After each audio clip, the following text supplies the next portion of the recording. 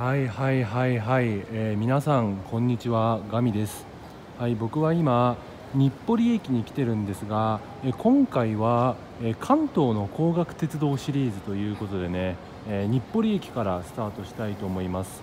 さあ日暮里駅から出て出てる高額鉄道って何かっていうと、えこちらですね、えここにホームがある日暮里舎人ライナーに今回は乗っていきたいと思います。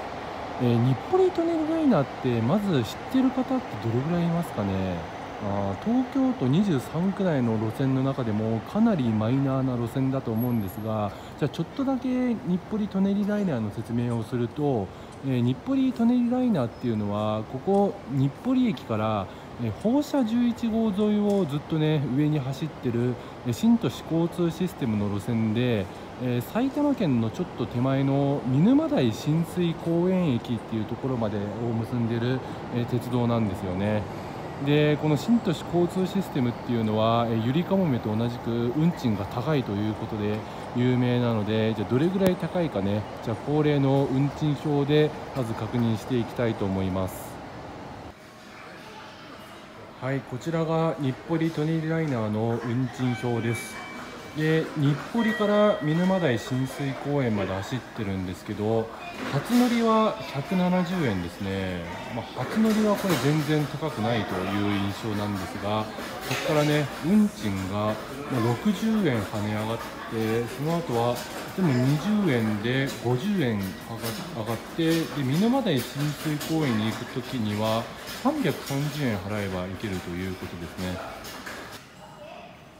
え調べてみると日暮里から見沼台親水公園までは9.7キロなんですね。で同じく9.7キロっていうのを JR 線で乗ると170円なので、まあ、JR に比べるとやっぱり倍近く高いということなんですね。まあそれでも330円って聞くとそこまで高くないようには思えるんですが、まあ、やっぱり路線長が短いから330円って確かに妥当なのかなじゃあとりあえず切符を見沼台親水公園まで買います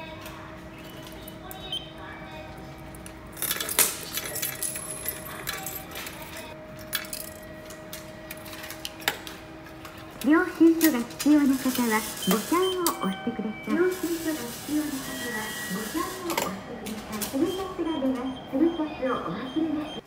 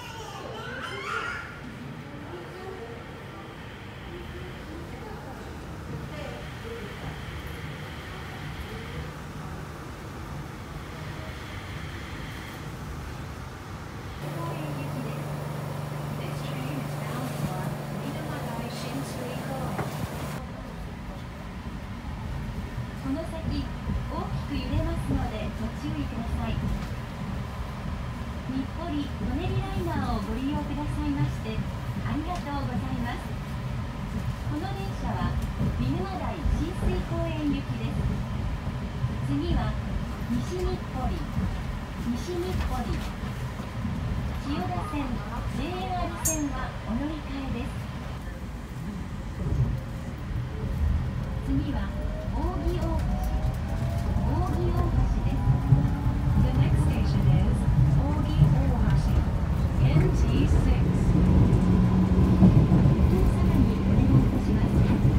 は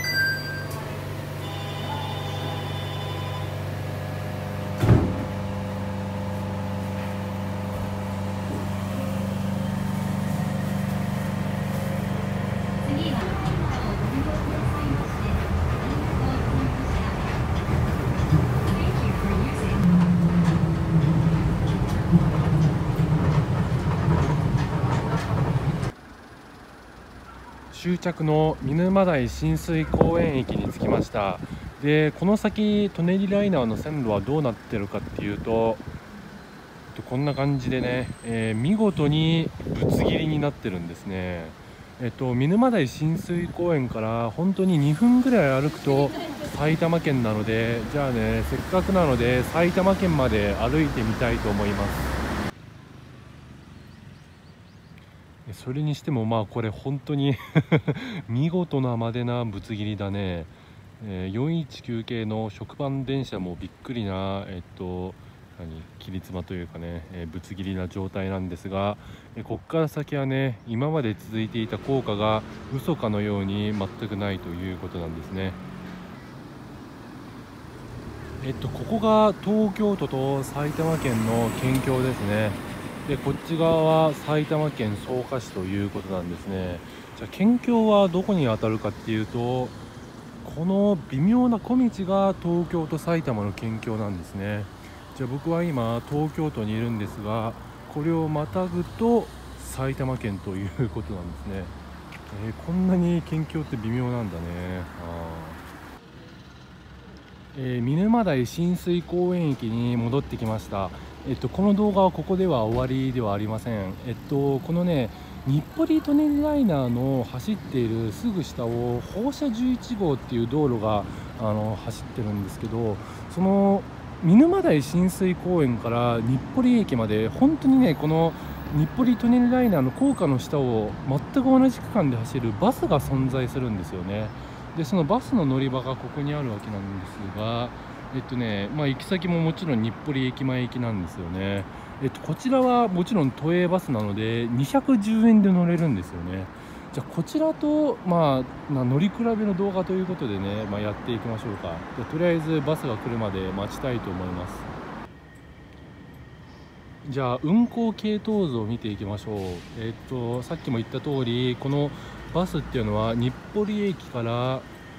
えー、見沼台親水公園駅まで走っているバスということで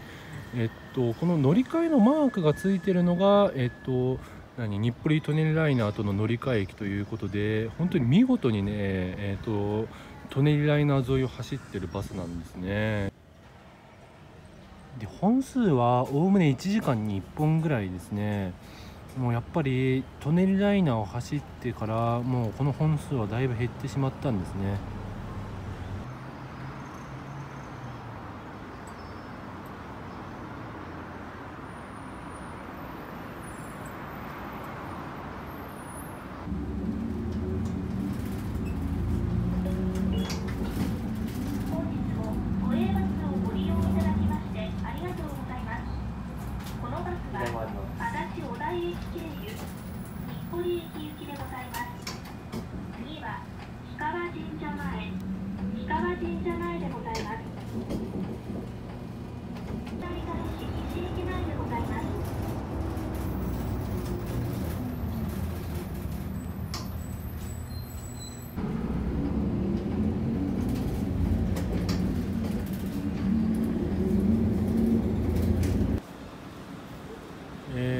通駅に戻ってきました、えー、舎人ライナーだと見沼台親水公園までちょうど20分なんですが、えー、都営バスだと倍の40分かかりました。